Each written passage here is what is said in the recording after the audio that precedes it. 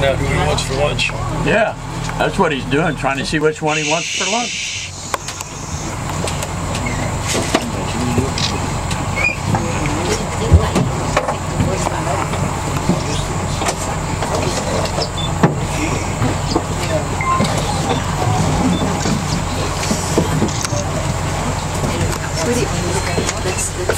Hmm?